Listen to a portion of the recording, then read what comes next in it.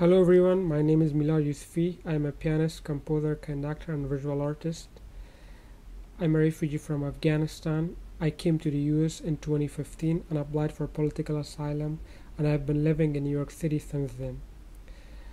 Freedom is a very important piece for me because I wrote this piece uh, in my second year in the United States as a refugee, and it was commissioned by New York Philharmonic Chamber Orchestra, which was a very important and big thing and meaningful for me. In freedom, I wanted to express my feeling as a refugee, and I wanted to become voice of other refugees. And there's my artwork that I did recently, um, which represents my heritage, culture, and my inner feeling as a refugee, and what refugees go through emotionally and mentally.